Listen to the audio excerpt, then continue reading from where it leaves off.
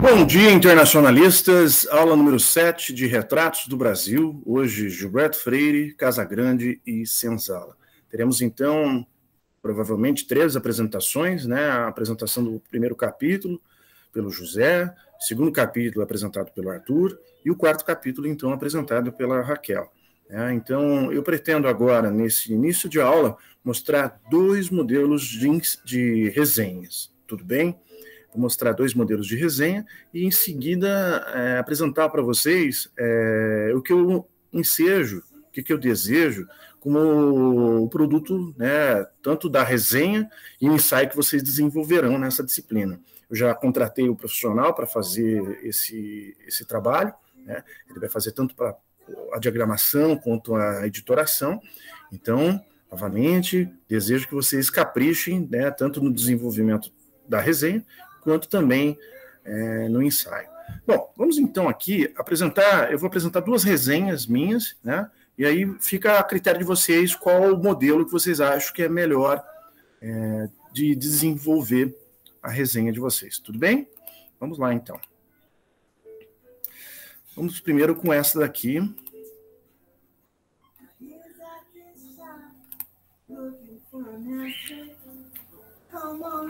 Bom, pessoal, essa esse foi uma resenha que foi publicada na revista Aurora, uma revista da PUC São Paulo, né, a minha casa, né, onde eu fiz a graduação, mestrado e doutorado. É uma revista B2 de Ciência Política e Relações Internacionais. Então temos, eu fiz essa resenha desse livro do Patrick Charrandot, né, o livro intitula-se A Conquista da Opinião Pública, como o discurso manipula as escolhas políticas. Veja, pessoal, eu coloquei lá todas as informações sobre o livro, né, a tradução de Angela M.S. Correia, onde foi publicado, né, aqui no Brasil, São Paulo, a editora Contexto, o ano 2016, e coloquei o número de páginas. Está né? lá, então, o meu nome, e vamos, então, baixar para vocês darem uma olhada nesse nessa resenha que eu fiz. Veja, pessoal, eu começo falando uma visão geral sobre o que trata a obra A Conquista da Opinião Pública, como o discurso manipula as escolhas políticas, né? Veja lá, eu digo, é um livro imprescindível para compreender os mecanismos envolvidos na elaboração de discursos que visam conquistar a opinião pública, dramatização e apelo aos sentimentos, ao carisma e exaltação de valores. Aí, pessoal, olha que interessante. Eu começo a dividir, é, eu digo como está estruturado o livro. O livro está dividido em quatro sessões, coloco lá a introdução, o que é opinião pública, manipulação da opinião pública, né, e depois o, o, último capítulo. Né. Depois eu trato a respeito da linguagem, né, como, como que eu, eu avalio a linguagem.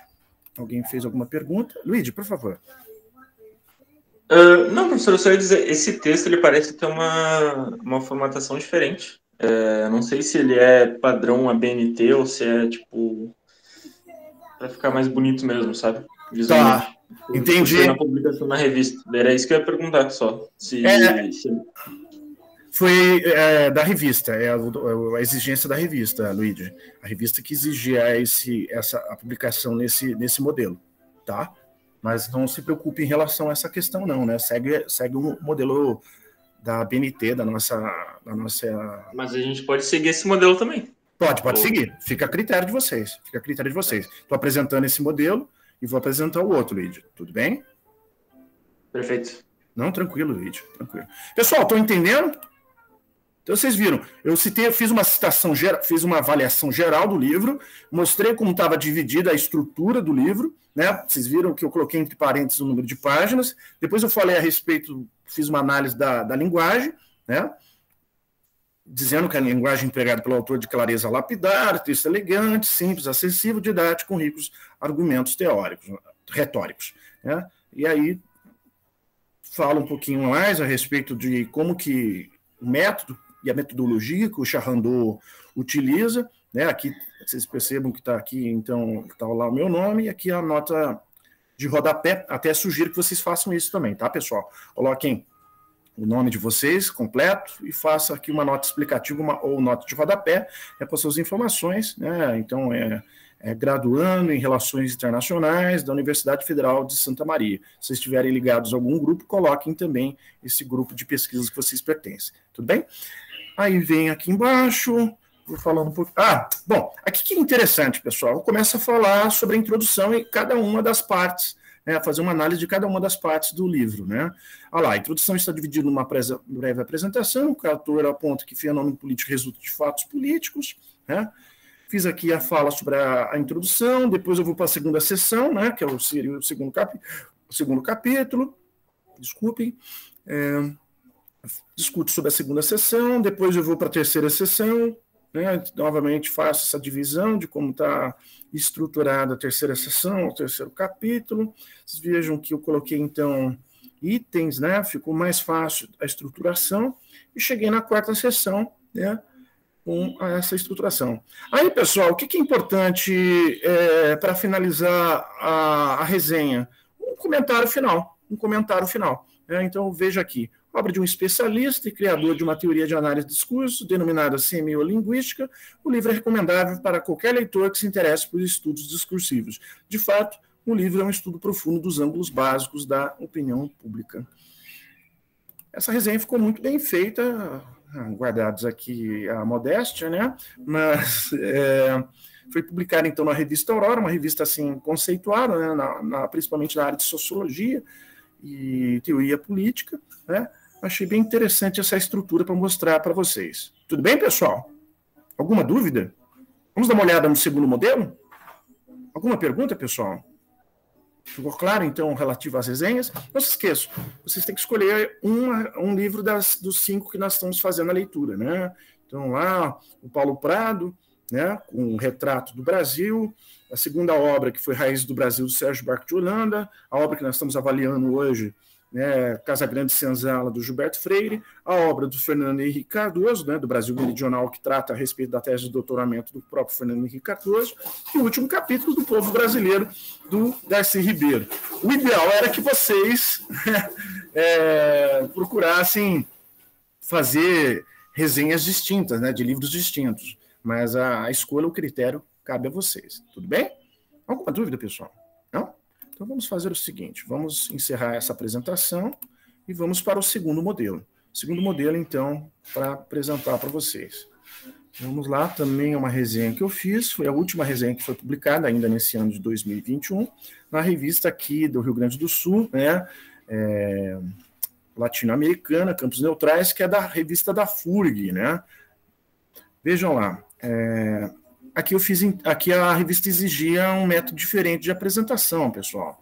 Deixa eu mostrar aqui para vocês. Então, vem aqui, revista então latino-americana de relações internacionais, campos neutrais da FURG.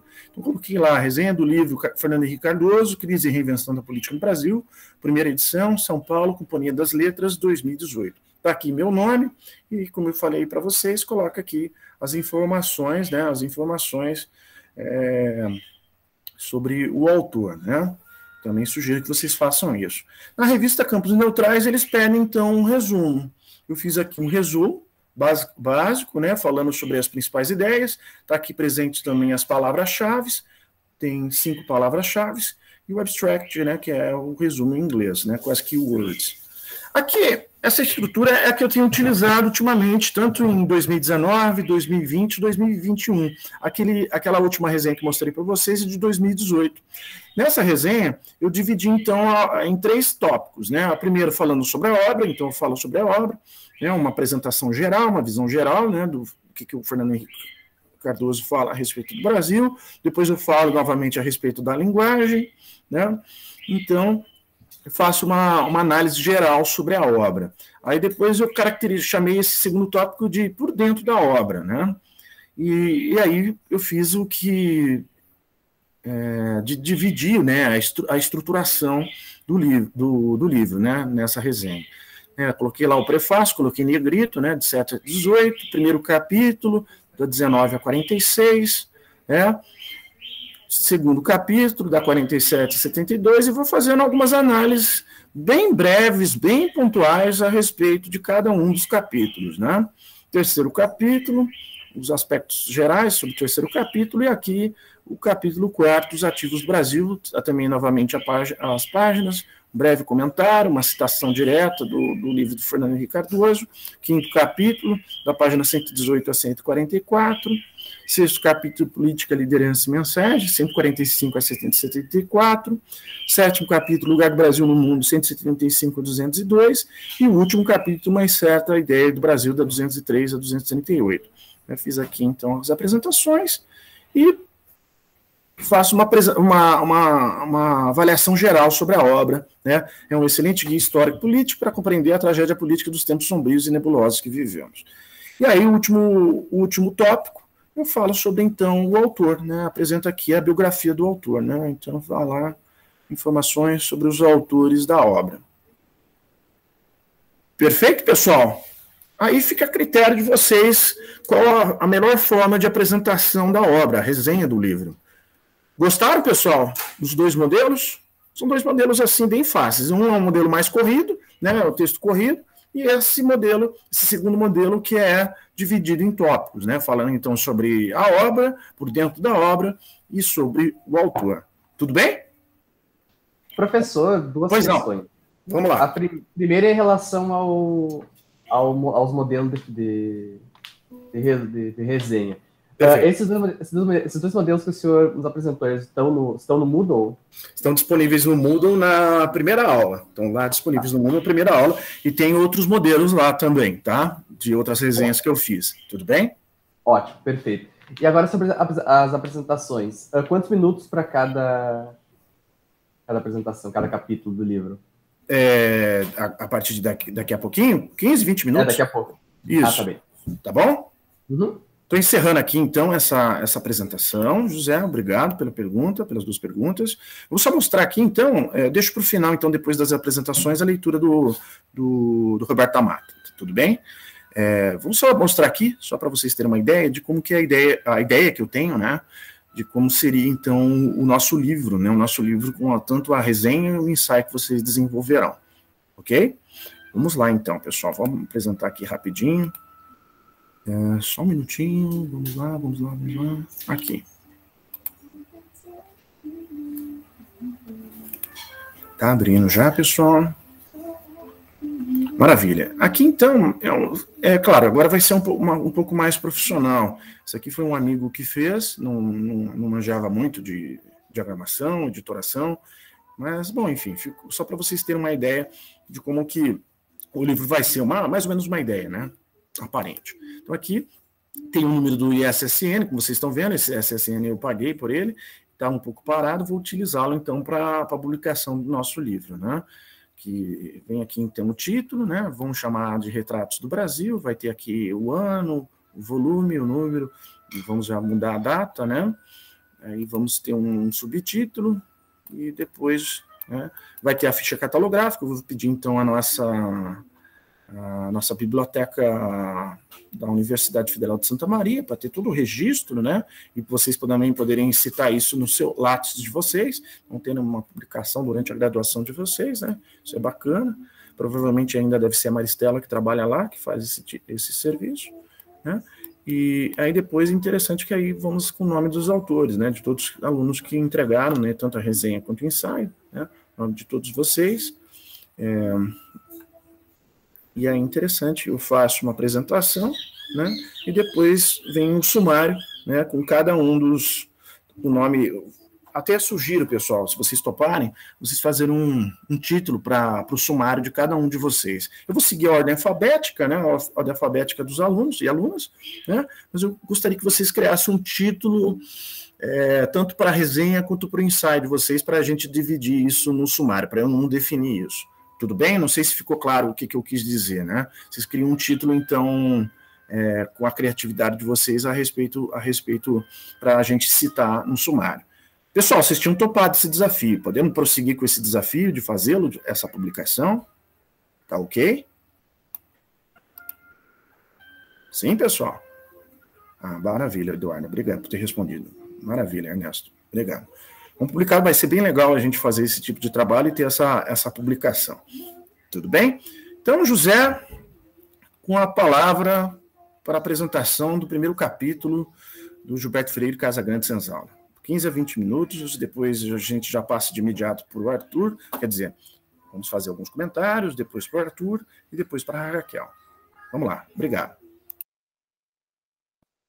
Bom, vamos lá. Uh, o livro que eu escolhi para falar, como o professor Paulo muito bem falou, foi o Casa Grande Senzala, do Gilberto Freire.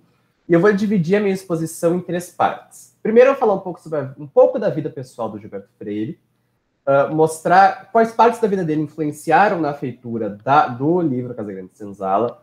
Depois eu vou falar um pouquinho das características do texto, falar um pouco da linguagem, falar um pouco de como ele conversa com as fontes dele. E depois eu vou falar, aí sim, do conteúdo em si do capítulo, do primeiro capítulo do livro.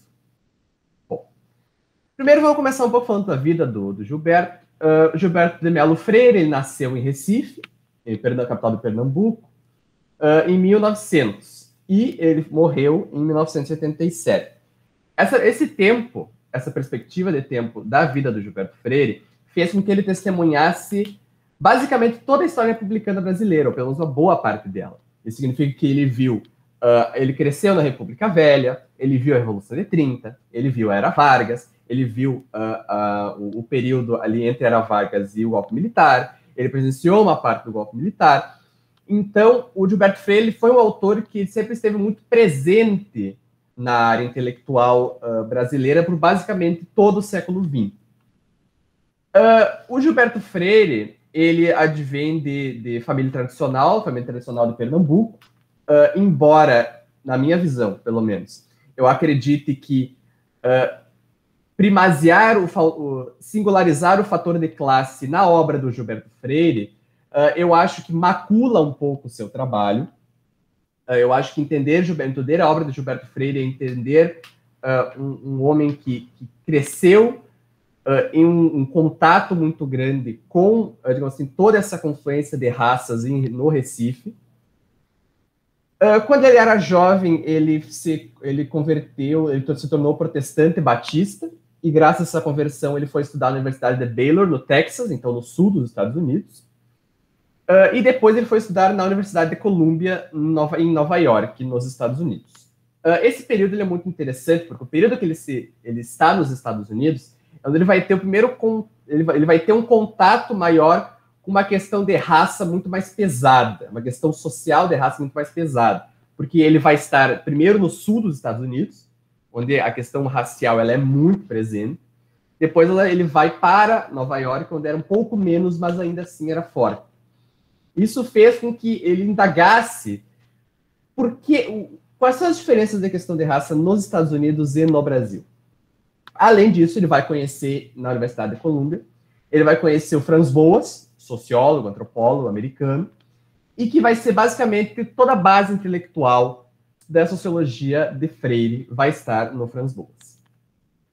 A partir daí, nós vamos ter o lançamento do Casagrande eh, do Casagrande em Senzala, publicado em 33, que o Casagrande em Senzala, ele, ele de início, ele já vai ser uma hecatombe em, base, em basicamente toda a ciência social brasileira da época. E agora eu vou entrar um pouco falando, eh, entrando já um pouco nas características do texto. Por quê? Porque o Gilberto Freire, no texto, ele vai, ele vai ir de encontro a toda a visão sociológica brasileira até aquele momento. Por quê? Primeiro que ele está, ele está indo contra, uh, basicamente, toda a tendência eugenista da sociologia brasileira até então, principalmente capitaneada pelo Oliveira Viana e pelo Tobias Barreto. Então, que falavam basicamente que as causas do, das mazelas brasileiras eram relacionadas à questão de raça e que a miscigenação era o principal fator nessas problemáticas. O Gilberto Freire vai de encontro e falar, ele fala assim: não, isso não é um fator. As mazelas brasileiras são por outro fator. A miscigenação, ela não é um fator. Além disso, ela é um fator positivo na questão brasileira. E, inclusive, até indo, até se opondo às ideias do próprio Paulo Prado, na ideia de que o Paulo Parado ele apresenta a questão uh, racial brasileira e a tensão sexual brasileira como advindo do escravo e como, digamos assim, como é que posso falar? Um, como uma mazela, como essa luxúria, como sendo as causadoras da mazela brasileira. O Freire vai falar assim: não. Primeiro, que a tensão sexual não advém do escravo, ela advém do português. E segundo, que uh, essa essa tensão sexual, essa luxúria que advém, ela na verdade ela foi uh, potencializadora de uma questão uh, social positiva que foi a miscigenação.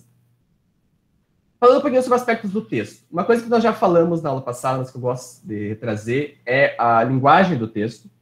O Freire, ele é, em sua natureza, um anti-intelectual, no sentido de que o, o texto dele não é preso, não é acadêmico, não é rígido. Ele é um texto, talvez pelo fato do Freire ter sido um poeta também, ele brinca muito com a língua portuguesa, é um texto lúdico, é um texto gostoso, é um texto, até fazendo uma brincadeira com a, a, os engenhos de açúcar de Pernambuco, ele é um texto açucarado, ele é um texto que uh, ele é, é ao, ao mesmo tempo que ele torna-se fácil de ler e muito gostoso de ler, ele também é um texto que, por essa, essa, essa doçura, tu acaba, às vezes, deixando passar pontos importantes na leitura do texto. Segundo, segundo aspecto é que o Freire ele é um, um sociólogo que ele ele tinha ele, ele, ele tra, traz o contato de uma uh, ideia que era vanguarda na época, que é a escola dos análises, na ideia de que ele traz uma pluralidade muito grande de fontes. Então, ele não é positivista no sentido de que ele pega apenas fontes históricas e essas fontes históricas me dizem a história. Né? Ele traz uh, livros, ele traz uh, conversas populares, ele traz expressões, ele traz uh, expressões culturais e materiais, ao mesmo tempo que ele comunga isso com fontes históricas, com documentos, com relatos. Então, essa comungação de fontes históricas, muito relacionada com a escola dos análises, faz com que a, a produção sociológica do Freire ela seja muito rica e ela, ela se comunique muito bem com a a facilidade da leitura do próprio texto dele. Uh, inclusive, eu tenho até aqui um, um exemplo disso, que é, uh, abro aspas, Desde os cinco anos merecera eu a alcunha de menino diabo, confesso o herói das memórias póstumas de Brás Cubas. Aquele mórbido deleite de ser mal com os inferiores e com os animais é bem nosso. É de todo menino brasileiro atingido pelo sistema escravocrata. Que, que ele está fazendo aqui? Ele está usando a literatura, ele está usando Machado de Assis, Memórias Póstumas e Brás Cubras, para expor a ideia de que o sistema escravocrata, ele, além de, uh, modo de modelo de produção, ele também tem um impacto na vida cultural e social, ao ponto de que uh, a ideia de considerar um outro ser inferior e ser cruel com esse outro ser uh, impacta, por exemplo, nas relações sociais de, de, de, de gurizada sabe? Então, essa ludicidade com que ele lida com as fontes é um, um aspecto bem legal do livro do Freire uh, nesse sentido.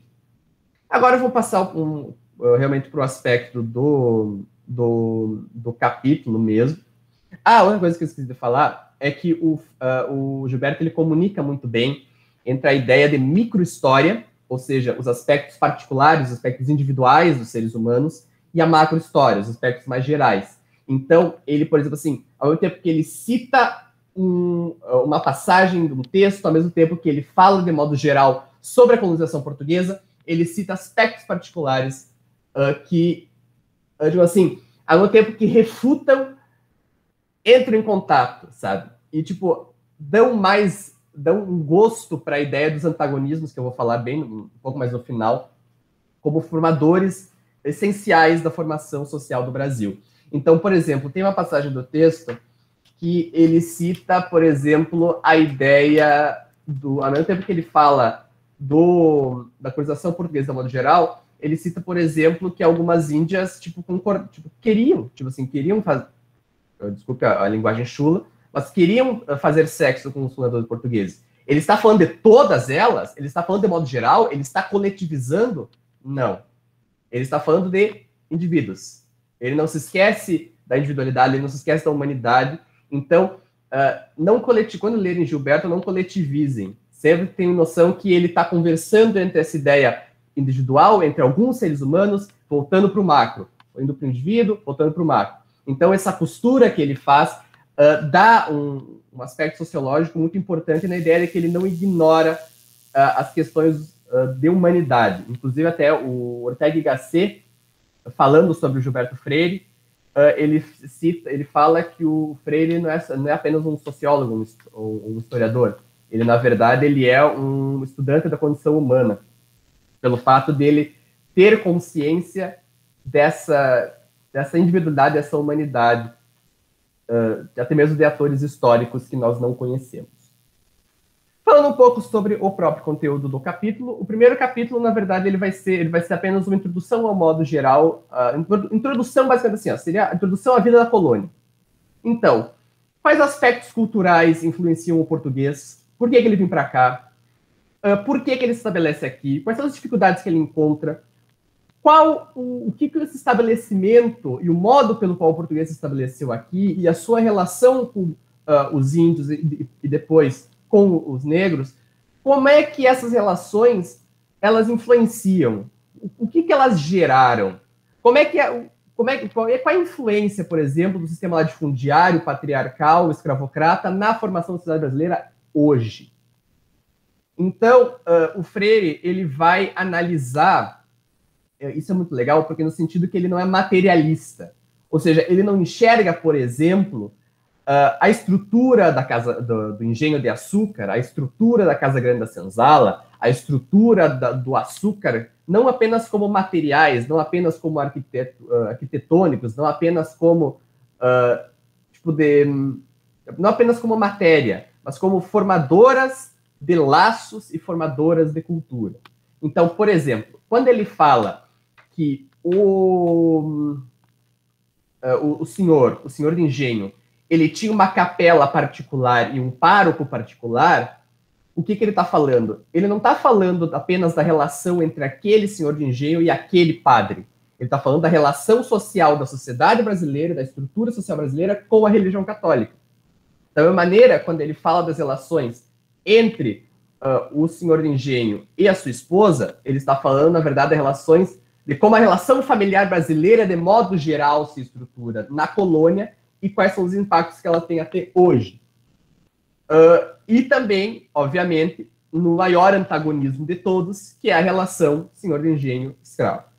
Como é que uh, até mesmo as estruturas arquitetônicas da, da, Casa Grande da Senzala, como é que elas se antagonizam e como é que elas se complementam. Então, uh, nesse aspecto, é um, um, um, um livro muito interessante. Uh, ele cita um pouco sobre a questão. Deixa eu só pegar minha colinha aqui. Cadê minha colinha? Aqui. aqui. Uh, no sentido de que ele não está. eu, ontem, na, na, aula passada, a gente viu que críticas ao Gilberto Freire, principalmente pela, principalmente pela linha sociológica paulista, capitaneada pelo Florestan Fernandes e depois pelo seu discípulo, o Fernando Henrique Cardoso, uh, que ela considera uma, uma, história do Brasil, uma análise brasileira idealizada, que coloca o português num pedestal, etc, etc. Não, não é bem assim. O que, que o Freire está tentando fazer? Ele está tentando quebrar preconceitos de duas maneiras. Primeiro, ele quebra preconceitos em relação à miscigenação. Porque ele expõe que o elemento negro e o elemento indígena também são civilizadores do Brasil. Ele não introduz esses elementos apenas como elementos passivos, apenas como elementos que estão lá para sofrerem. Não, ele introduz esses elementos como elementos ativos na formação cultural brasileira. E eu trouxe até aqui um exemplo, que é uh, aqui, ó. Abre aspas. Para Frei Miguel, padre mestre às direitas, era como era com os portugueses ilustres e polidos que devíamos aprender a falar, e não com, a, a, entre aspas, com a tia Rosa e nem com a mãe Benta, nem com nenhuma preta da cozinha ou da senzala. Meninos e moças deveriam fechar os ouvidos aos oxentes e aos me deixe e aprender o português correto do reino. Nada de expressões bundas nem, can, nem can, cansagens.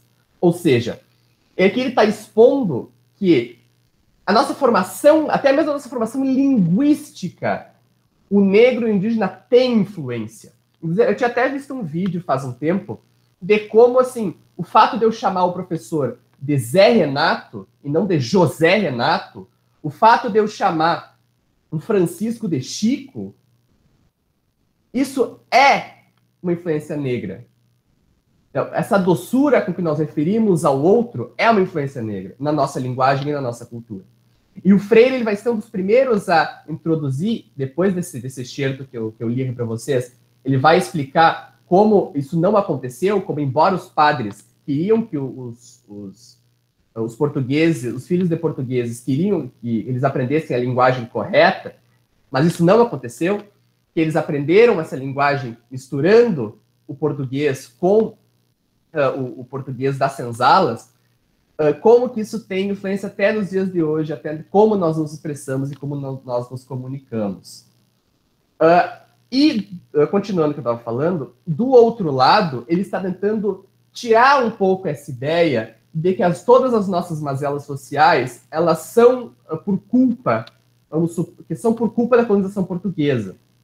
é aquela, aquela famosa ideia de, de, citando Nelson Rodrigues aqui, do vira-latismo, de achar, ah, mas se a gente fosse colonizado pelos, pelos ingleses, aí estava tudo bem, se fosse pelos holandeses, estava tudo perfeito.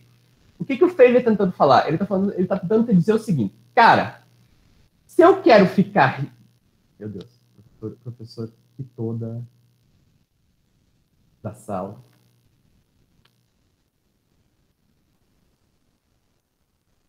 Meu Deus, não sei se eu continuo falando, se eu paro de falar. Ai, meu Deus.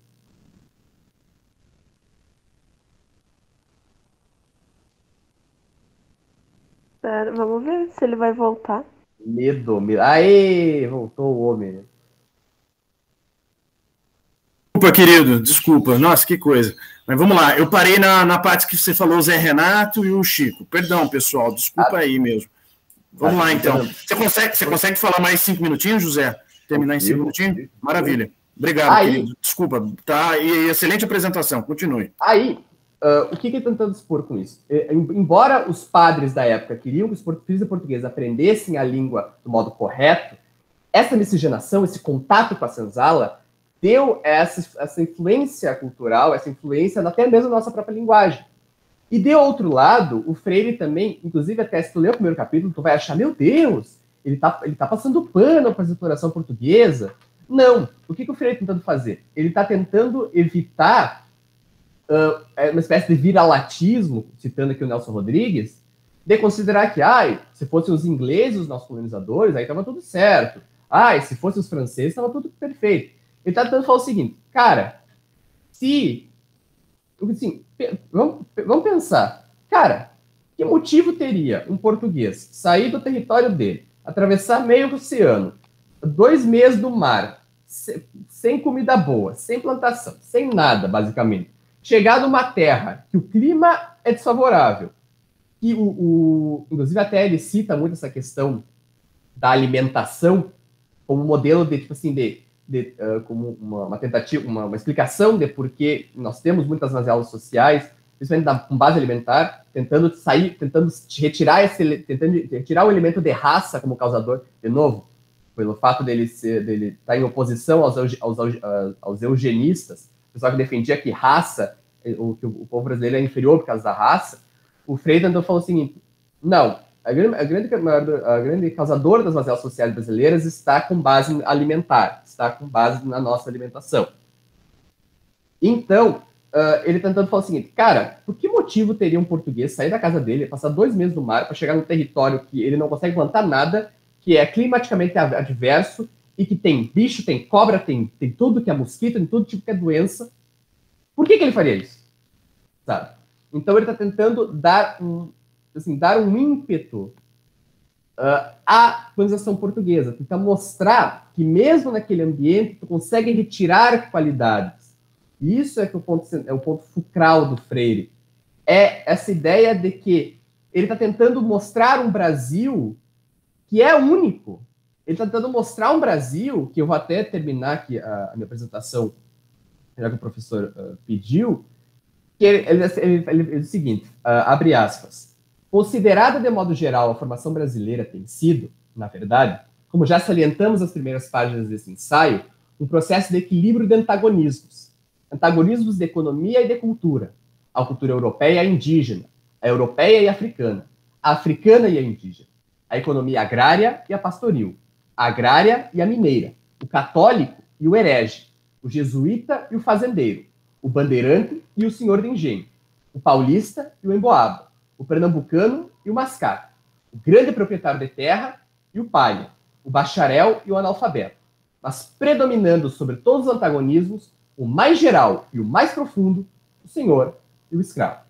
É verdade, é verdade que agindo sempre entre tantos antagonismos contundentes, amortecendo-lhes o choque ou harmonizando-os, condições de confraternização e de mobilidade social peculiares ao Brasil, a miscigenação, a dispersão da herança, a fácil e frequente mudança de profissão e de residência, o fácil e frequente acesso a cargos e elevadas posições políticas e sociais de mestiços e de filhos naturais, o cristianismo lírico à portuguesa, a tolerância moral, a hospitalidade a estrangeiros, a intercomunicação entre as diferentes zonas do país, esta, menos por facilidades técnicas do que pelas físicas, a ausência do sistema de montanhas ou de rios verdadeiramente perturbador da unidade brasileira ou da reciprocidade cultural e econômica entre os extremos geográficos.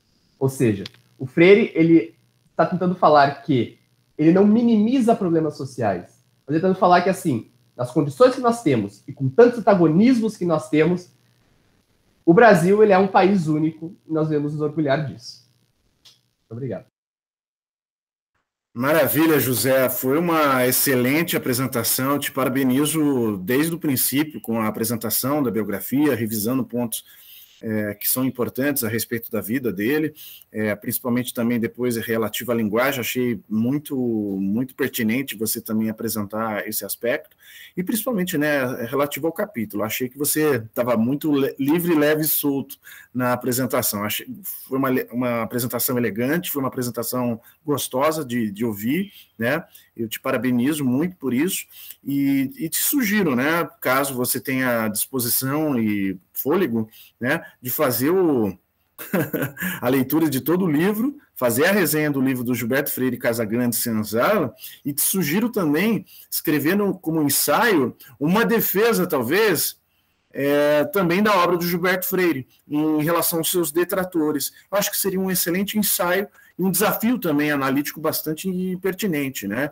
Eu acho que você teria também algo é, que, estaria concatenado até a sua própria fala, José. Acho que estaria muito concatenado a sua própria fala, porque eu percebo, até pelo brilho de seus olhos, embora não esteja aqui enxergando tão bem, né, mas foi, foi assim, foi uma defesa. Foi uma defesa da obra, porque você se encantou com a obra, você gostou da obra, você gostou da forma de análise da, da obra. Eu acho que foi muito, foi muito bom, foi excelente a apresentação, né? Está entre as melhores apresentações até o presente momento neste, nessa disciplina de Retratos do Brasil. José, você me deixou super orgulhoso, super feliz pela sua apresentação. E acho que a turma, até, até o presente momento, fez boas apresentações, excelentes apresentações, e fico, fico muito feliz né, que você tenha feito essa apresentação tão, tão, tão boa, tão singela, tão delicada, tão elegante como, como foi. Pessoal, vocês gostariam de fazer alguma pergunta para o José? Algum comentário sobre o capítulo? Comentário sobre a apresentação?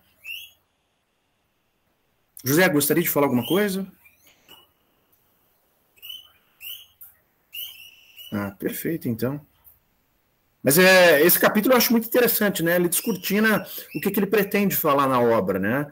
É, de fato, esse primeiro capítulo é um capítulo quase introdutório, né? As discussões que vão ser tratadas na obra. Eu acho que você abordou o ponto singular, né? A questão dos antagonismos as, as questões dos antagonismos, que na verdade é, é, o que nos torna também como Brasil, né?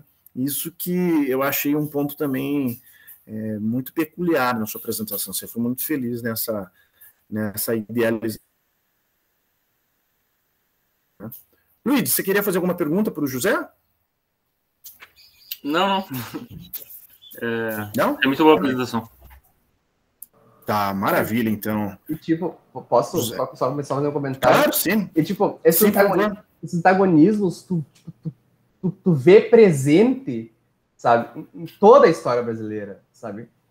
É um negócio assim, como é que tu consegue explicar de uma maneira singela, uh, por exemplo, uh, o fato, por exemplo, de senhores de engenho, ao mesmo tempo que deixavam de comer para alimentar os escravos, ao mesmo tempo eram totalmente cruéis com seus escravos como é que eu consigo explicar uma Chica da Silva em um, em um sistema escravocrata? Como é que eu consigo explicar, uh, por exemplo, um, a ascensão do mestiço como Machado de Assis no seio de uma, de uma, de uma sociedade escravocrata? Como é que eu consigo explicar, um, trazendo agora para o modelo republicano, como é que eu consigo explicar um, um, um imperador republicano e um presidente, uma república monárquica. Sabe? Como é que eu consigo, como é que eu consigo, como é, cara, como é que eu consigo explicar esses antagonismos, sabe? E eu acho uhum. que uh, o Freire, olhando para o sistema social, ele, uh, ele discutindo esses antagonismos de uma maneira muito boa. Maravilha, José. É isso aí. Parabéns novamente pela apresentação. O pessoal também está dando um feedback muito positivo à sua apresentação. Parabéns, feliz por a sua apresentação. Novamente repito, orgulhoso, muito orgulhoso, meu querido. Vamos lá então, Arthur, com, com a palavra agora, Arthur. Fica, fica à vontade. Vamos lá. Uh, oi, muito obrigado. Bom dia. Eu não vou deixar a câmera aberta porque a minha internet está muito ruim por causa da chuva e eu tenho medo de cair durante a apresentação. Fica à vontade, meu querido. Fica à vontade. Pode apresentar com a. Com a... Uh, muito obrigado. Eu vou apresentar o capítulo 2, uh, ah, intitulado O Indígena na Formação da Família Brasileira, na qual o Gilberto Freire vai tentar estabelecer e identificar uh, como o indígena influenciou a tanto a estrutura brasileira quanto principalmente a estrutura da família brasileira. Uh, no início, ele tenta contextualizar a chegada do português, que, como todo mundo sabe, chegou em 1500. Porém, no, no início, a colonização portuguesa não teve um, como posso dizer, um sistema colonial bem estabelecido. Então, nos primeiros 30 anos, até 1530, o, não teve um domínio, uma, uma, uma colonização efetiva no Brasil. Uh, Gilberto vai tentar estabelecer que era como se tivesse um paraíso sexual no Brasil, pois os portugueses vinham para se relacionar com as indígenas e viviam livremente. Ele também acaba estabelecendo como esse fator sexual foi importante para o povoamento do Brasil. Ele faz, durante um trecho, ele estabelece que o povoamento litoral brasileiro quase todo foi devido a essa causa sexual. Os portugueses vinham, se deslumbravam com as indígenas e decidiam ficar. Como a gente tinha visto na outra aula, no, um resumo sobre a obra. A obra do, do Gilberto vai tratar muito da questão sexual, da tensão sexual entre raças e como isso vai influenciar a cultura e a sociedade brasileira. Uh, outra característica que o Gilberto vai estabelecer nesse momento inicial é que os povos indígenas vão ter um, um sentimento quase de sensibilidade com a dominação portuguesa. Eles teriam aceitado a dominação portuguesa uma característica que, segundo ele, é comum quando um povo de uma cultura atrasada, que no caso ele se refere a indígena, encontra uma cultura avançada, que no caso seria a portuguesa. Essa, aí nesse momento desse contato teria uma relação mútua entre esses dois povos, hum, de troca cultural, troca social nas relações. Ele também estabelece que assim a estrutura brasileira seria híbrida desde o início, também vai definir que seria mais harmoniosa as Américas, diferente de outros povos indígenas, como por exemplo no México e Peru, em que teve uma grande um grande conflito pelo domínio da região. No Brasil não teve um grande conflito, pois as tribos diferentes dessas regiões eram mais desunidas e isso acabou propiciando que os portugueses tivessem maior facilidade de dominar o território e se estabelecer. Essa nova sociedade que vai se formar no Brasil, uma sociedade híbrida, segundo Gilberto, vai ser uma cidade cristã como superestrutura. Como anteriormente citado, nesse primeiro momento, a, o Brasil, nos primeiros 30 anos de descobrimento, não vai ter um sistema muito bem definido de colonização. E nesse momento vai ocorrer uma espécie que ele vai estabelecer, uma frase que vai muito bem uh, ser muito emblemática desse momento, vai dizer que o ambiente que, o, que começou a vida brasileira foi de quase intoxicação sexual. Nesses 30 anos não havia um, um sistema estabelecido e a moral católica uh, se encontrou degradada nesse território, porque não tinha leis estabelecidas às modas europeias. Essa vida que o selvagem, entre aspas, indígena vivia seria uma vida de quase liberdade. Essa terra amoral que se encontrar no Brasil vai chamar muita atenção da Igreja Católica, que vai ver vai, vai definir, depois desses 30 anos, vai estabelecer que deveria ter um regime mais rígido para tanto o, a catequese quanto o processo civilizatório desses povos.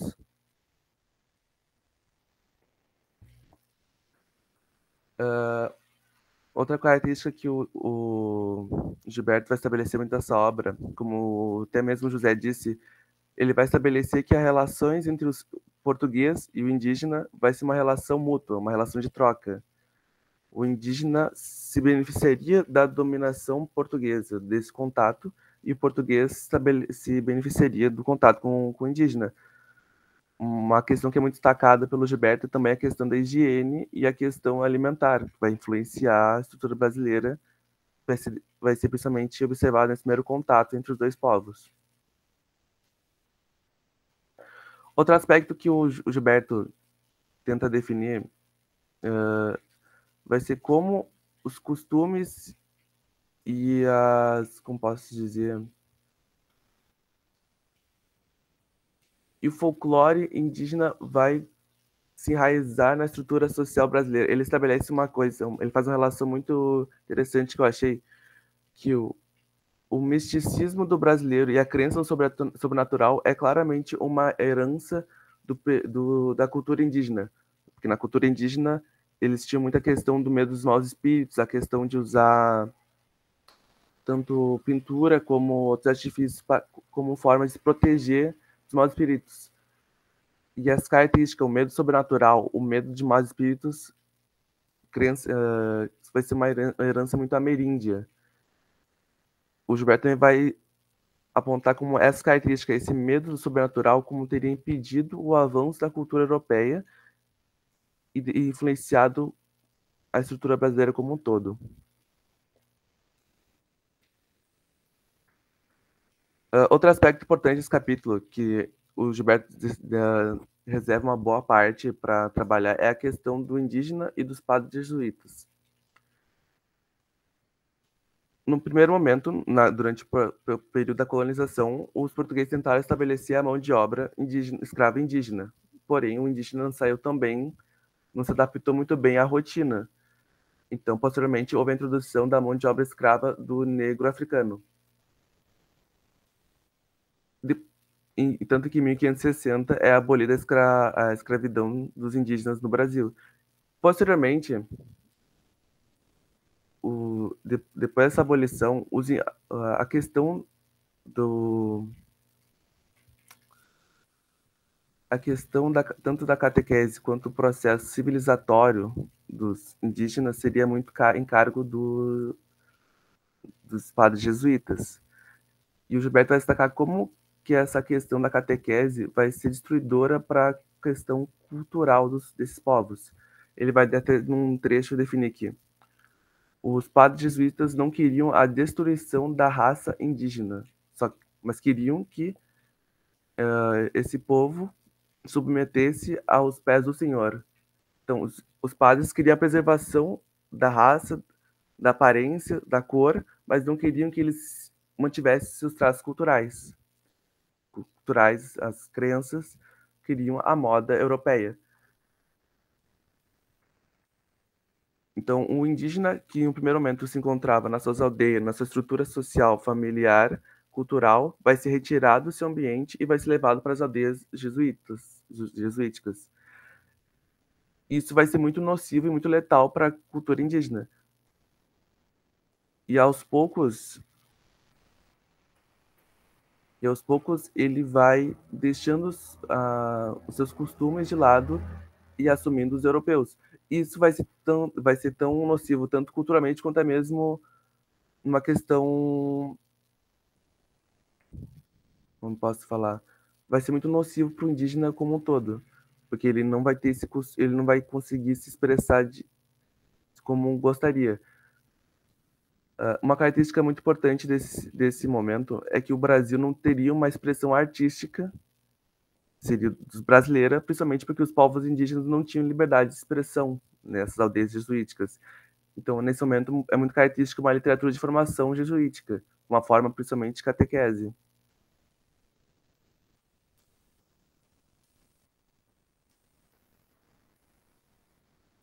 Uh...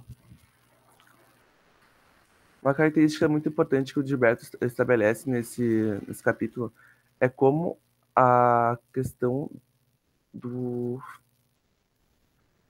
que os, que o processo civilizador dos jesuítas vai se constituir principalmente na catequese através dos filhos, uma catequese inversa. O, ao invés de você educar o pai e o pai, possivelmente educar o filho, os padres jesuítas vão usar muito a questão de educar o filho para que esse educasse o pai.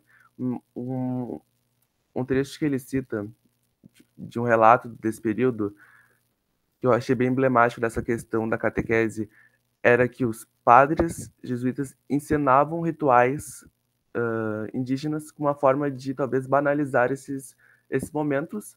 Aí os pequenos indígenas viam esse momento e acabavam assimilando como se fosse uma brincadeira. Aí no momento que eles voltavam para suas aldeias com seu convívio familiar, em questão dos rituais, quando eles presenciavam esse mesmo ritual, só que na prática real, eles acabavam levando na brincadeira. Então, uma coisa que anteriormente era um processo, era um ritual característico da cultura indígena, passava a se tornar uma brincadeira. Isso vai ser um isso vai ser isso vai ser muito presente nessa questão da catequese. Então, pouco a pouco, esse indígena pequeno, novo, vai deixando de lado seus traços culturais, suas características sociais e vai se adaptando ao modelo europeu. Isso vai levar a uma maior situação da religião católica pelos nativos e vai quase levar à total destruição da cultura indígena. Uh, posteriormente, o Gilberto ele tenta analisar, ele tenta estabelecer uma relação entre a estrutura social e familiar indígena. Uh, ele vai, claro, relacionando com a, com a sociedade brasileira contemporânea ele vai definir que as, as mulheres tinham um papel muito fundamental na família indígena, porque elas também elas cuidavam principalmente tanto do trabalho do campo quanto doméstico e trabalhavam muito mais que os homens, porque eles eram responsáveis só pela caça e pela guerra. Isso é uma característica que a gente até hoje, a mulher fazendo uma, uma, uma dupla jornada. Gilberto vai estabelecer como sendo uma, talvez uma herança desse momento que a mulher indígena era responsável por praticamente todo o trabalho na, na, no ambiente doméstico.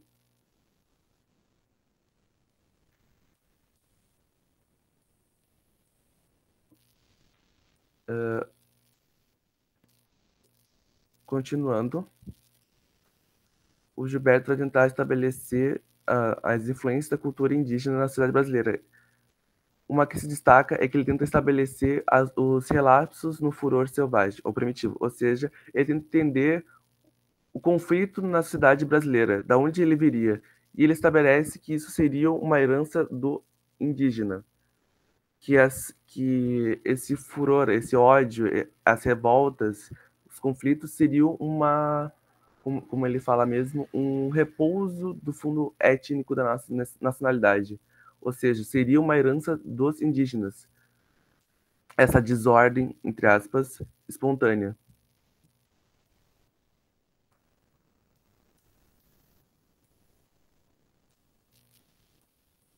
O outro aspecto que o Gilberto tenta analisar nas, nas, nas heranças desse momento, desse contato entre o indígena e o europeu, vai ser a questão da língua. A comunicação em toda na, na, na colônia era, usar, era usando o tupi-guarani no dia a dia, enquanto nas grandes casas, nas, nas grandes casas e nos os ambientes importantes de, de autoridade era utilizado o latim. O Gilberto vai analisar que esse, essa dualidade da língua sendo o início das desigualdades que, que, a língua estabelece na sociedade brasileira. A gente, é muito comum a gente ver a questão da diferença da língua escrita e da língua falada. A língua escrita seria uma língua mais rebuscada, mais de luxo, mais alta classe, entre aspas, e a língua falada no cotidiano seria uma língua popular que não teria o mesmo valor que a outra. Ele estabelece que essa desigualdade que a gente vê hoje seria uma herança desse período colonial no qual se usava o tupi no dia a dia e o latim nas grandes, nos, nos, pelos bacharéis, nos grandes locais de poder. Isso teria se perpetuado essa desigualdade até hoje, esse antagonismo. Para encerrar o capítulo, o Gilberto vai tratar muito a questão com o fim do, da, o fim da presença jesuítica no Brasil. por volta de 1758, os padres jesuítas vão ser expulsos do território nacional e isso vai causar um grande dano para as comunidades indígenas, porque em um momento eles se encontravam uh, protegidos pelos padres, se encontravam apoiados, recebiam auxílio, apoio, aí do nada, posteriormente, eles são expulsos e o indígena se encontra sem chão, sem recursos de se manter e sem outras formas de, de se manter no país, se manter no... se manter e que posteriormente vai ser caçado, vai ser exterminado e essa cultura vai ser totalmente destruída.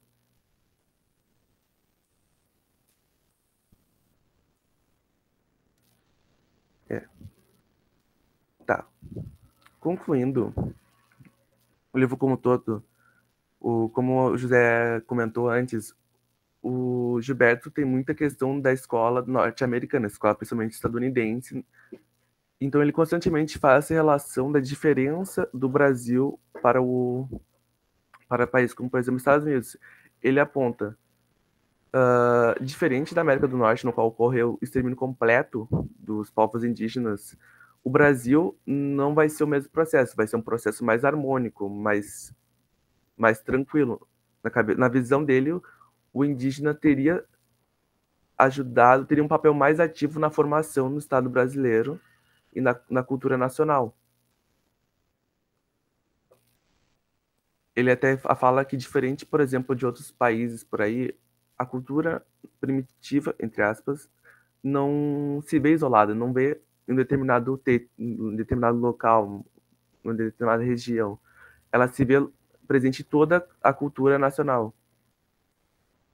Isso a gente pode ver até em hábitos, nos hábitos alimentares, nas questões culturais, até mesmo em outras formas de expressão. Ah, acho que é isso. Eu me perdi muito, mas desculpa, senhor.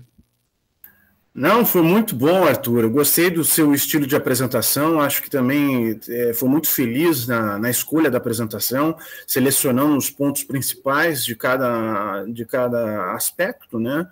Desse capítulo, principalmente relativo à questão indígena, que é, é o único capítulo que ele trata um pouco mais profundamente a questão indígena, e você tocou né, nos pontos tanto relativo ao sexo, que ele aborda com tanta, com tanta intensidade né, ao longo da, de toda a obra Casagrande e Senzala, e você tocou no aspecto da religião, que também é outro ponto também muito importante na obra do Gilberto Freire, Casa Grande Senzala. Você fala também a respeito do papel da indígena, da mulher indígena, que também é outro ponto importante, crucial, né, e fulcral nesse, nesse segundo capítulo, e, e, essa questão também do processo, tanto do misticismo, da questão da miscigenação, da questão de como que o, foi, foi se estabelecendo essas, essas relações, essas interrelações entre essas etnias. Né? Acho que foi também uma ótima apresentação, muito bem feita.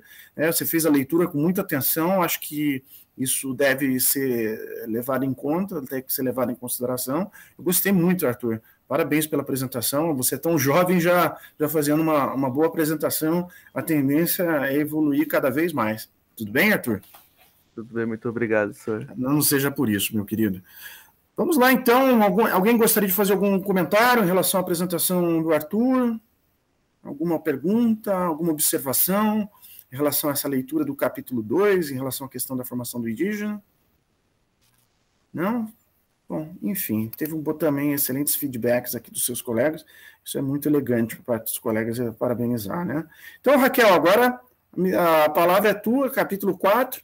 Fica então a, a Ana Paula para o capítulo 3 na, na semana, na semana, na primeira semana de janeiro, lá pelo dia 11, né? O dia 11 de janeiro, né? Quando re, retomamos as aulas de Retratos do Brasil. Raquel, por gentileza. Bom dia, gente. É, vou falar então no capítulo 4.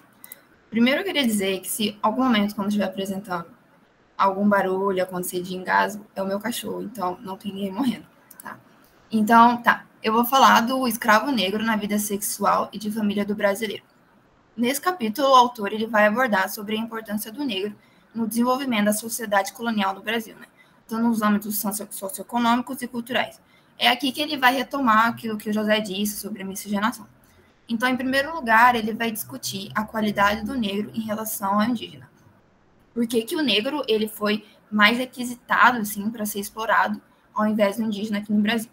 Então, ele vai estabelecer uma linha né, entre esses, essas duas etnias e vai dizer que o negro ele vai ter algumas características que o tornam superior. Ele é mais extrovertido, é, ele consegue ser muito mais adaptado aos trópicos e aos climas, ele tem uma habilidade melhor com a manufatura, né, o manuseamento do ferro e com as colheitas. Né? Os, os, índios eles vão trabalhar com um estilo de vida de mais subsistência, então o estilo de vida português é, não condiz muito com o trabalho dos indígenas. Além disso, os indígenas vão trabalhar melhor em momentos de, de chuvas, são introvertidos e têm uma tendência maior a serem agressivos.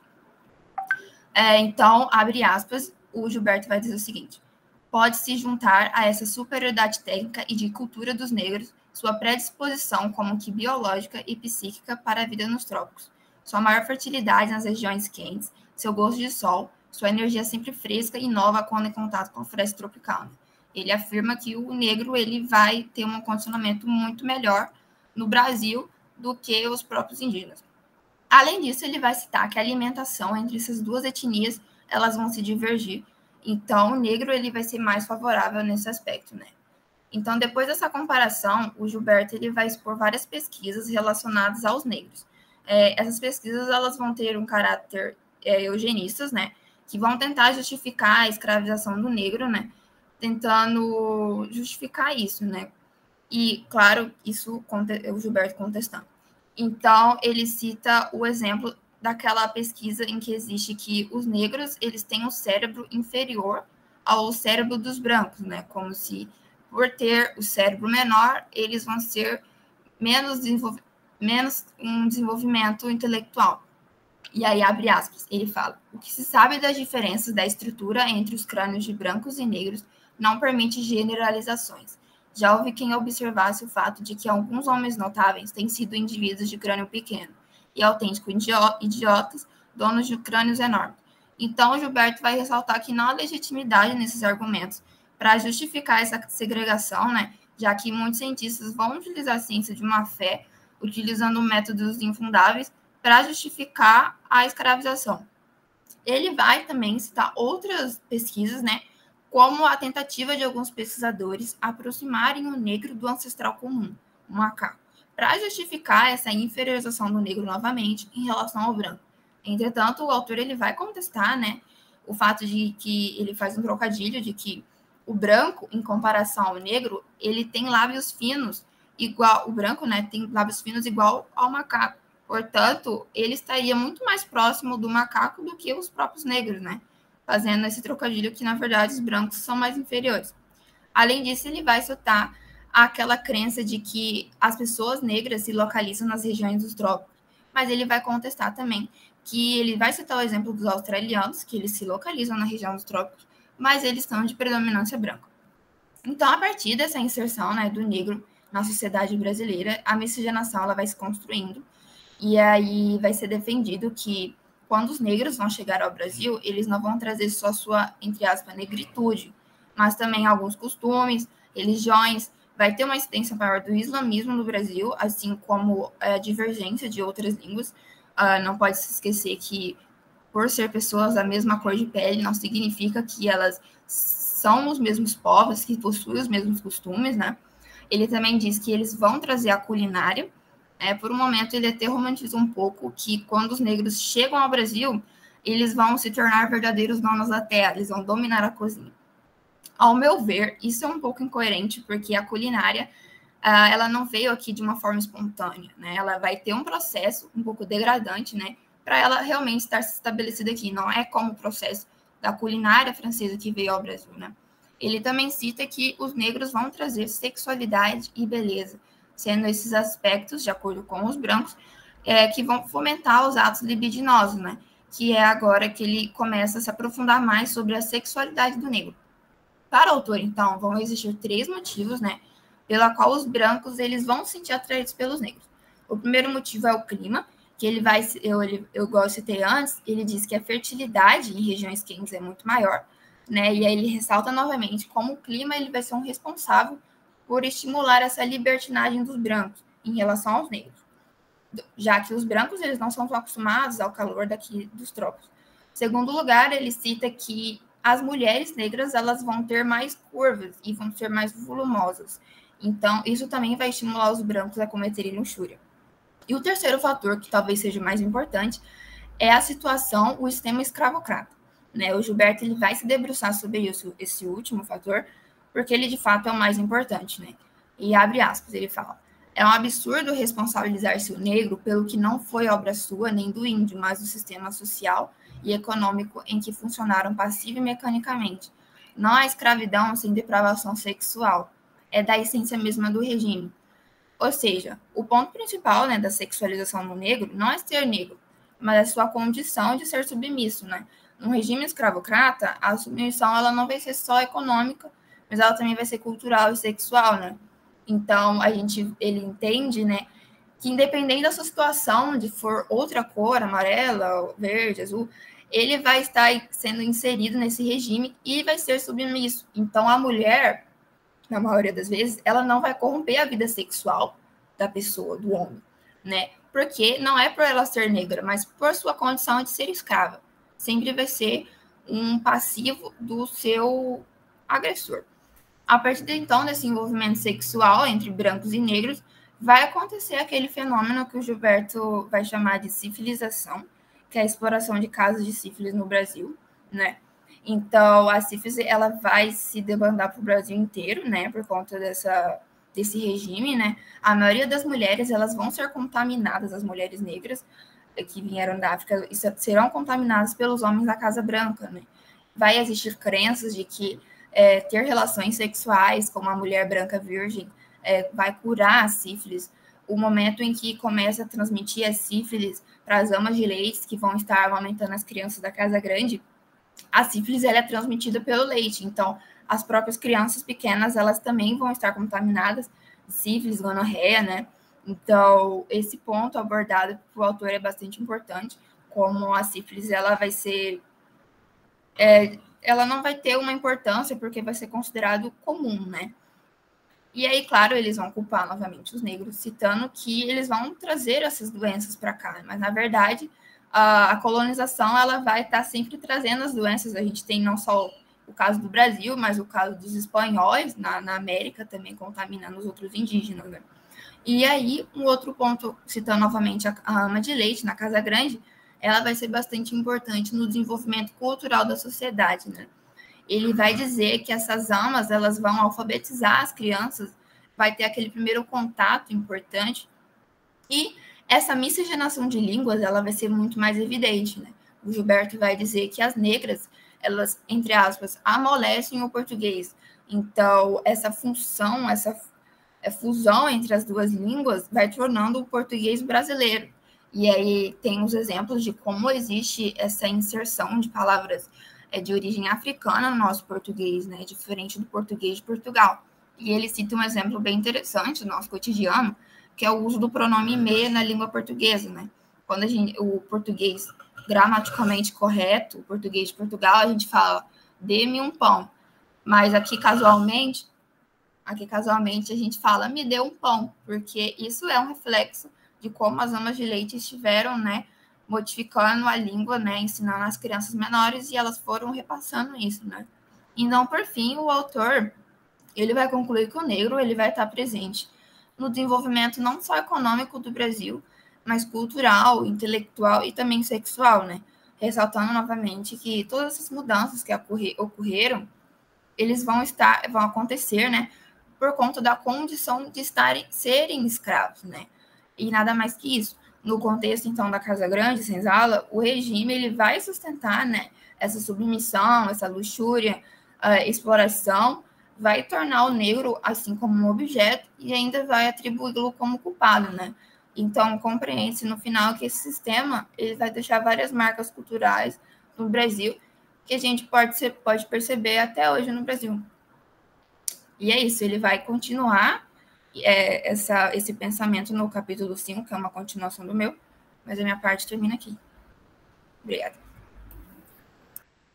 Maravilha, Raquel. Foi uma maravilhosa também apresentação. Parabéns pela, pela apresentação. Gostei bastante também, porque é um capítulo, como também o Edgar acabou de citar ali no chat, né, agora há pouco, né, a respeito de ser um capítulo bastante polêmico, né, mas de mostrar como que os negros, negros e negras, estiveram tão presentes em diversos aspectos da formação da sociedade brasileira, né? Na culinária, que você ressaltou muito bem esse aspecto, na questão sexual, que também ele, ele fala e, e exalta esse aspecto com bastante naturalidade, né? E vocês percebem como que a questão do, do sexo, né, da sexualidade está muito presente na obra de Gilberto Freire, Casagrande e Senzala, na questão não só da culinária, também da, da, questão sexual, como na própria formação das crianças. Esse é um outro ponto também muito importante. As doenças venéreas que também estão aqui presentes, né? A sífilis, a gonorreia, que também são outro ponto, outros pontos, aspectos são abordados também pelo, pelo Gilberto Freire. É uma obra, assim, é muito portentosa, né, nessa, nessa miscigenação entre o branco, indígena e principalmente o negro, né. Eu acho que você apresentou bem, soube apresentar bem esses, esses aspectos cruciais, né, da, deste, deste quarto capítulo. Eu acho que chama atenção, né, Raquel e demais apresentadores, José e Arthur, né, como que a obra do Gilberto Freire, apesar também de, de ter pontos críticos, ela, ela, ela destaca pontos que a gente deve refletir, que a gente deve, de fato, pensar, não é verdade? Deixa eu ver o Ernesto aqui com o seu, seu comentário, que é sempre importante. Né? Uhum. É interessante, né, Raquel e Ernesto, algumas similaridades, né, do pensamento do Gilberto Freire na obra Casa Grande, com também da obra do Paulo Prado, né? Você percebeu também, Raquel, Arthur e José, algumas similaridades e algumas também diferenças, né? Algumas diferenças também que, que também são, são importantes, né? A gente demarcar entre, entre esses dois autores. Eu acho também muito importante que vocês façam esses, estabeleçam, né, semelhanças, estabeleçam também diferenças entre as obras que a gente está lendo. Né? Pessoal, gostaria de fazer mais algum comentário? Obrigado, Ernesto, pela, pela colocação desses aspectos também que são importantes, também chamar a atenção, né? Também gostei muito dessa, dessa apresentação. As três apresentações foram, foram impecáveis. Parabéns a, a, aos três apresentadores, né? E também parabéns a toda a turma, né? Que eu acho que nesse ano de 2021 fizeram excelentes apresentações. Eu imagino e suponho, acredito também, né, que no ano que vem 2022 tenhamos também boas apresentações. Nós, eu já encaminhei agora há pouco para vocês o e-mail, né, é, com a nova programação. É, foi excelente, alto nível mesmo, gostei bastante. Parabéns, que, que orgulho de todos vocês, que orgulho de todos vocês. Pessoal, para finalizar a aula, então, eu vou fazer a leitura do texto do Roberto da Mata. Pode ser? Maravilha, Ernesto, obrigado. Vamos lá, então. É, o título do texto do Roberto da Mata é Racismo e Consciência Negra. Vou ler de uma forma bem pausada. Vamos lá. O racismo é um sinistro instrumento de separar, humilhar e, no nazismo, de exterminar pessoas diferenciadas por religião, costumes, associação política ou hábitos em geral. No Brasil, o X da questão é a cor da pele.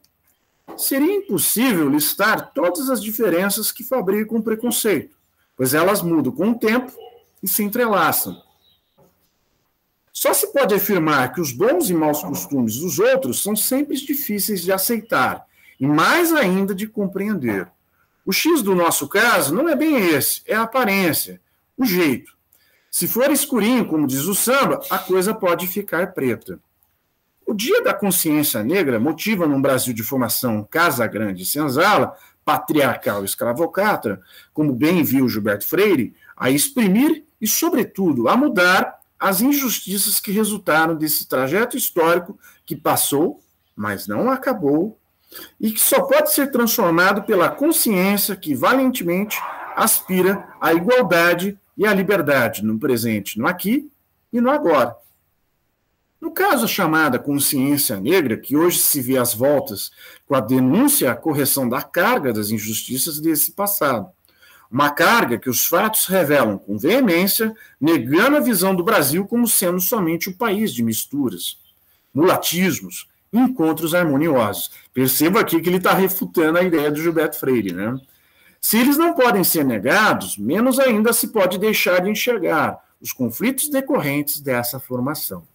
Nesse sentido, a consciência negra se volta para o fato do que é ser negro no Brasil, demandando uma permanente denúncia de convicções pouco discutidas e veemente negadas.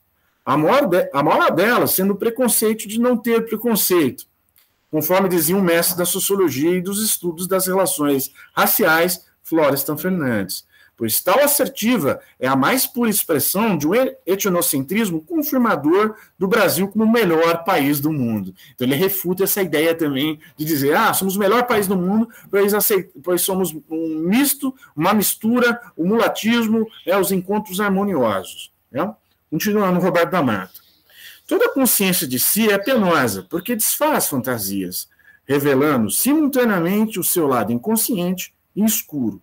No Brasil, o fato de que a sociedade carnavalesca, na qual tudo daria certo, existe também um autoritarismo, um protofascismo feroz, espreitando esse jogo de aceitar, reprimir e protelar, ou inocentar pensando menos no crime e muito mais na pessoa. Esse amor e ódio simultâneos pela lei, justiça, mas sempre dependendo de quem é o sujeito.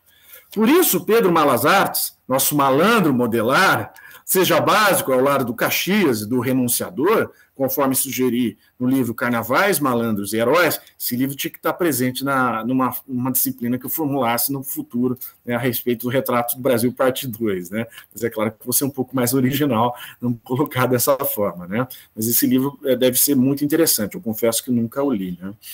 mas eu comprei já.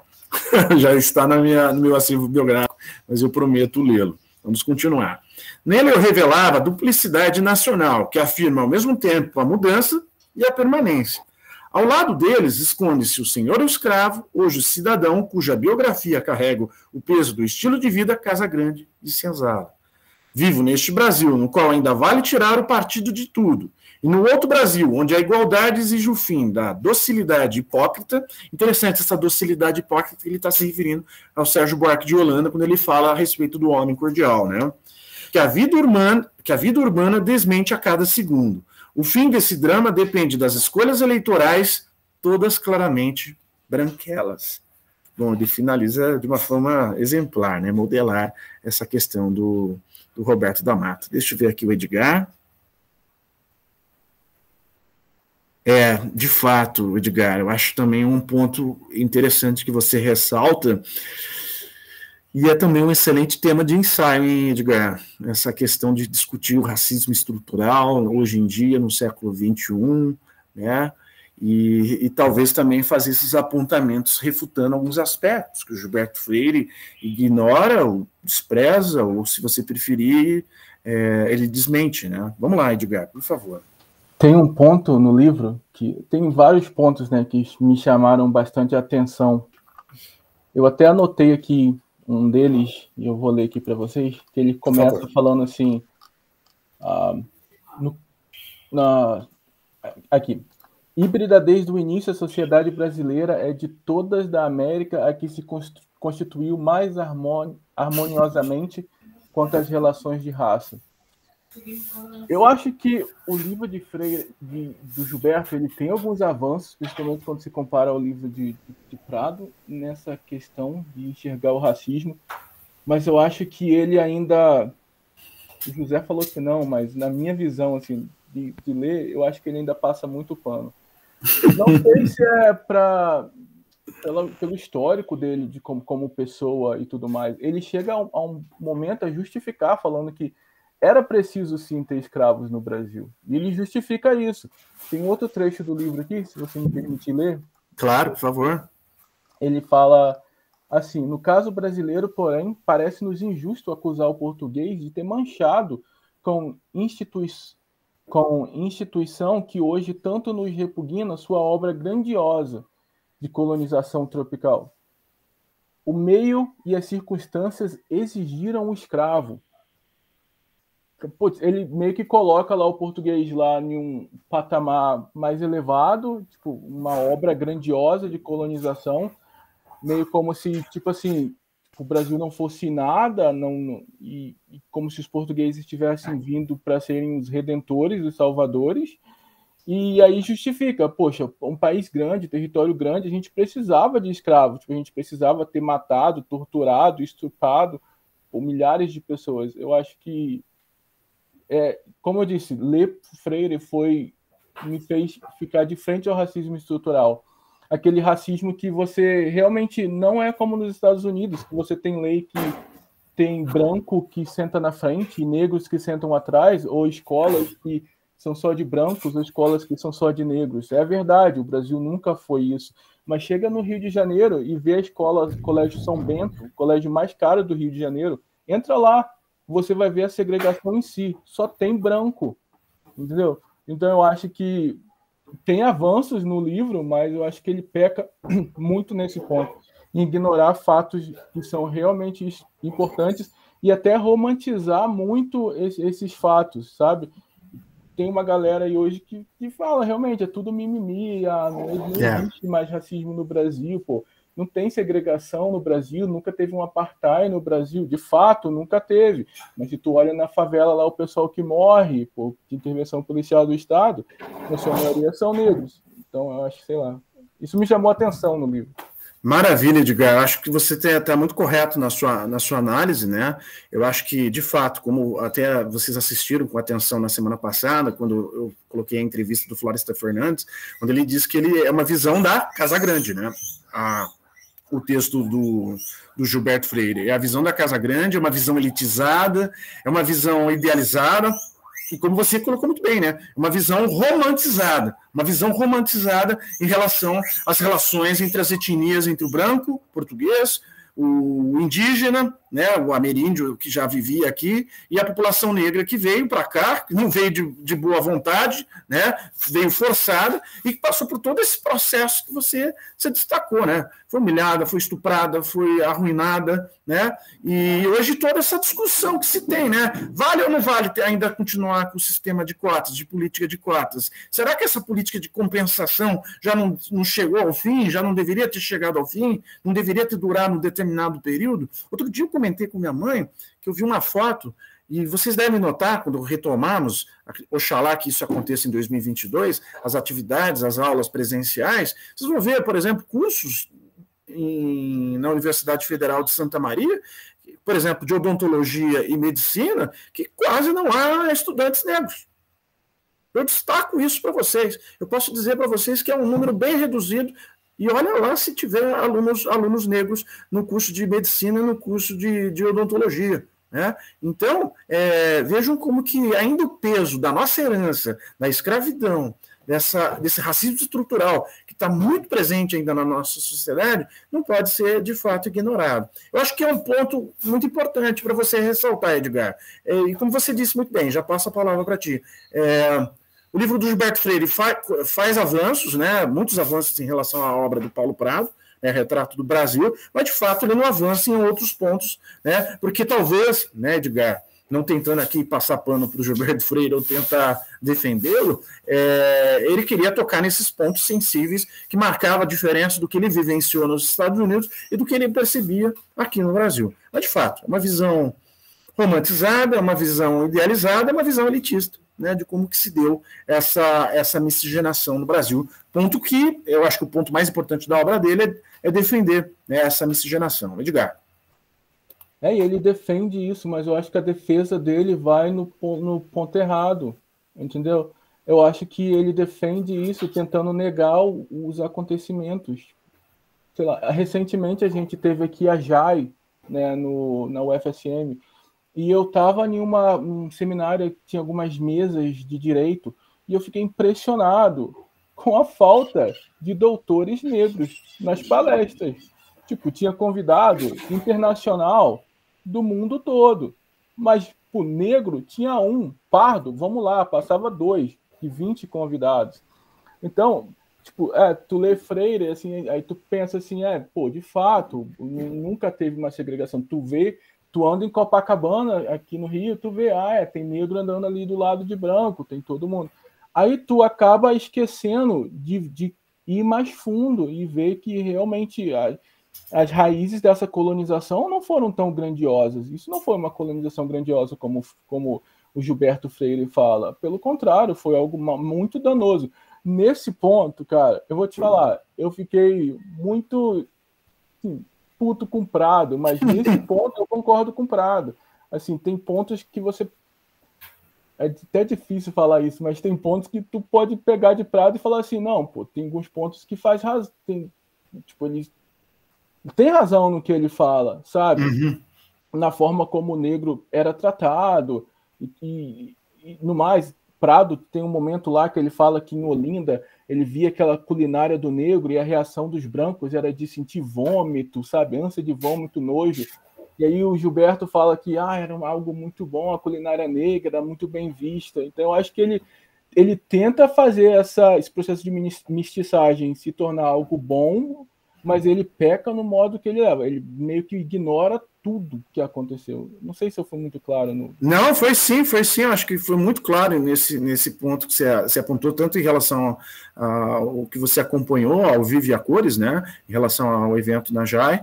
E, e aí, claro, a gente percebe isso, né? Como que a falta de estudantes negros, a falta de professores negros, é, isso é, é muito claro, né?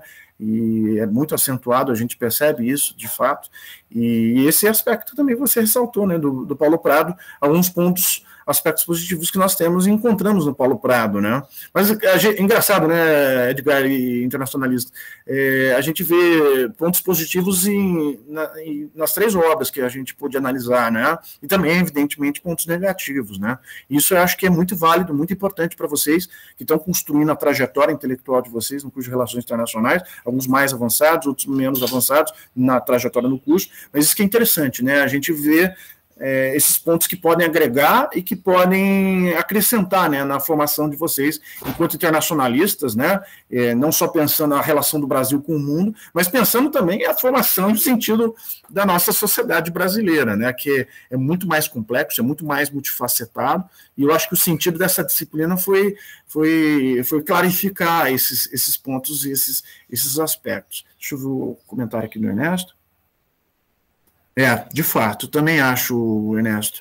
Há preconceito em relação ao nordestino, há preconceito em relação ao nortista, há preconceito do rico para com o pobre, há preconceito da classe média para com o pobre. Né? Então, existe tanto racismo, mas existe também a questão relativa aos preconceitos regionais, há preconceitos dentro da, também dentro da, dos próprios grupos sociais. Eu acho que isso também são pontos assim que, que a gente pode chamar em relação ao Brasil, né, as peculiaridades do Brasil, principalmente a, a, esses pontos que a gente, a gente destacou. Pessoal, agradecer novamente a participação de vocês, hoje com um número também muito reduzido de alunos e alunos, mas são alunos interessados, alunos motivados, alunos focados. Eu espero que vocês estejam gostando da disciplina, seja uma disciplina que ela, ela esteja despertando, estimulando a reflexão de vocês em relação à formação da sociedade brasileira, né? Em todas as nossas nossas dificuldades, todos os nossos desafios que nós temos enquanto, enquanto sociedade. Né? Eu espero que vocês estejam gostando. Para mim está sendo uma felicidade muito grande né, essa cadeira, essa disciplina, e principalmente com essa turma né, que, tem, que está muito interessado, que está muito motivado. Eu confesso que estou bastante interessado e motivado para o ano 2022 ver o trabalho de vocês, o ensaio, a resenha de vocês, né, e também as próximas apresentações. Pessoal, algum comentário final agora na nossa última aula de 2021? Algum feedback em relação à cadeira, às apresentações? Professor? Pois não, Luigi. Uh, só uma dúvida sobre o ensaio. É, eu não lembro um, a data de entrega que a gente tinha combinado, a mesma data de entrega do. do, do, do Olha, estou confundindo com as outras disciplinas. Não, tranquilo, querido. A, a, data de entrega é dia 8 de fevereiro. Certo. 8 de fevereiro. Hum, Tanto a, o, a resenha. Isso, tanto a resenha quanto o ensaio. Tudo bem? Certo. Maravilha. E Luiz, gostou, tá gostando da cadeira?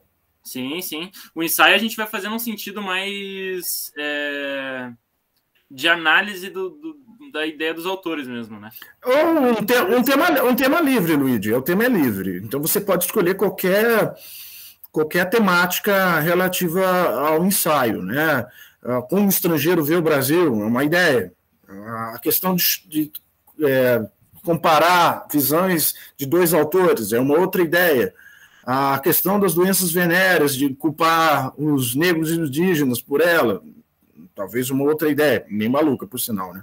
É, a questão da culinária, a influência da culinária dos indígenas, dos negros hoje em dia, um outro aspecto que é bastante importante, como o Edgar falou. O Edgar ressaltou a questão da ausência de professores negros nas universidades federais, como na Universidade Federal de Santa Maria, um outro aspecto. Então, há uma diversidade temática muito ampla, né, Luíde, que vocês podem tematizar. Aí, como diz lá o, o Ratinho, né, no Ratatouille, é, surpreendem-me, né? Acho que era isso que ele falava, né? Surprise me, né? É isso aí, então, pessoal. Não gostaram da piadinha? Achei que fui tão boa, fui tão feliz nessa piadinha. Vou ficar até triste por vocês não terem reagido. O Ernesto reagiu, que bom. Beleza, pessoal. Mais algum comentário, alguma observação sobre a cadeira, sobre as, as aulas? Eu estou gostando muito. Eu acho que as escolhas do, das obras foram muito boas. Eu acho que elas entram em conflitos umas com as outras às vezes, o que, o que faz a gente pensar muito sabe? Tipo, tu pensa assim, não, agora eu sou time Freire, não, agora eu sou time Prado. Acho que isso causa uma é uma vontade de, de se aprofundar mais sobre assuntos e, em si. Eu acho, achei muito boa a escolha. Maravilha, Edgar. Obrigado, principalmente pelos comentários, sempre pertinentes, sempre assim espirituosos e principalmente pela, pela essa observação aí de, de, em relação aos autores. Eu já percebi, desculpe aqui a brincadeira, José, você é time Gilberto Freire, pude perceber. Né? Eu? Eu não, jamais. Obrigado pelo comentário aí das piadas. Né? Ana, Raquel, Arthur, Eduarda, gostaria de fazer algum comentário, os demais alunos, para a gente encerrar nosso encontro em 2021? Ah, só queria comentar que as aulas têm sido muito. Acho muito produtivas e muito boas. É, é algo diferente que a gente está acostumado a ver nas cadeiras obrigatórias e dá uma visão diferente. Eu acho, tô achando bastante produtivo. Maravilha, Arthur. Também acho, acho muito legal essa, essa questão da interação de vocês, de vocês apresentarem, de vocês falarem, vocês serem sujeitos da disciplina, né? serem protagonistas da disciplina. Isso que eu acho muito importante. Eu acho que também é, outras disciplinas nesse, né, com essa metodologia ativa deveriam também ser mais aplicadas, na, como DCGs também, principalmente, né? Como DCGs. Raquel, Ana, Eduarda, ah, meninas, por favor, Raquel. Eu gostado bastante da disciplina, eu acho que ela é essencial e ela promove vários debates que às vezes a gente não está acostumado no meio acadêmico, sabe? Então é uma DCG muito boa, eu acho, promove muitas reflexões. Eu passei muita raiva lendo o texto e fiquei, meu Deus do céu, mas é ótimo, eu tô gostando, assim, de como cada, cada livro ele traz um ponto específico que o Edgar disse, ah, uma hora eu sou Tim tal, depois eu não gosto mais desse, defendo outro autor, né? Então é bem complexo. Maravilha, Raquel. Novamente parabenizo pela apresentação, obrigado pelo comentário, acho muito bem-vindo o comentário, e que bom que você percebe também essa essa singularidade nessa né, disciplina e principalmente né, essa, essa questão de relação de amor e ódio que a gente tem em relação também aos, aos autores. Deixa eu ver aqui a Eduarda, que sempre também é muito bem-vinda nos seus comentários. Ah, maravilha, Eduarda. Obrigado. Sim, que bom. Fico feliz também de você estar cursando essa disciplina. Pode falar de vez em quando, Eduarda, fique bem à vontade, tá? Não, não seja tímida. E obrigado também por essa questão do senso crítico. É importante que vocês tenham, né, na formação de vocês como internacionalistas durante essa passagem no curso de Relações Internacionais. Mais algum comentário, pessoal? Se não, eu me despeço de vocês. Ah, por favor, Ana. Ah, minha cachorra está chacoalhando aqui, acho que deu para ouvir no. Uh, também estou gostando bastante da aula, é interessante também de ouvir a opinião dos outros colegas a respeito, né? Além de só ler o livro e ouvir a opinião do professor. Acho que está sendo bem interessante. Está sendo uma cadeira bem diferente. Estou gostando bastante. Maravilha, Ana. Obrigado também. Fico feliz de você estar gostando e de também fazer esse, esse feedback tão positivo. Fico muito feliz. Os demais também podem se manifestar, pessoal, no, é, via e-mail, se quiserem encaminhar um comentário, é sempre muito bem-vindo. Eu acho isso muito bem-vindo, esse feedback positivo relativo à disciplina, até também com críticas e, e, e sugestões. Pessoal, desejar então para aqueles que eu não darei aula amanhã, na disciplina de História das Relações Internacionais, que eu encerro então a, a disciplina. Ah, deixa eu ver o Edgar aqui. Ah, legal, isso também é muito importante, Edgar. Gostei da sua ideia. Vamos lá, Ernesto, por favor. Bom, professor, acho que faça pelas minhas palavras, as palavras de outras pessoas, mas agradecer pela, pelas, pelas aulas aí e, por incrível que pareça, é, a identificação, apesar de eu estar em casa, eu me sentir em casa com as aulas, né? Que, por incrível que pareça, foi, foi excelente esse semestre. Agradecer por todos aí Maravilha, Ernesto. Fico muito feliz também. Obrigado pelo, pelo feedback aí, pela manifestação, sempre muito bem-vinda. Pessoal, então desejar para vocês, família de vocês, um excelente Natal, um excelente Ano Novo, né, que em 2022 a gente possa retomar as, as atividades, as aulas presenciais e que possa também conhecer mais alguns de vocês que não têm ainda tido o privilégio de, de conhecê-los. Tá bom? Então, pessoal, obrigado. Está né, lançado o desafio, então, para vocês escreverem bons ensaios, boas resenhas, vamos trabalhando. É isso aí, Feliz Natal a todos, boas festas para vocês. Né? Vou encerrar aqui a gravação, boa semana também para vocês. Obrigado, hein?